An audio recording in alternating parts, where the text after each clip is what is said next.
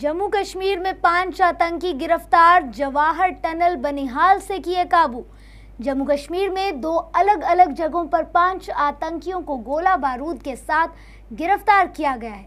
Jawahar tunnel के पास दो आतंकियों को ए के सैंतालीस और अन्य हथियारों के साथ और बनिहाल बस अड्डे के पास से तीन आतंकियों को गिरफ़्तार किया गया है।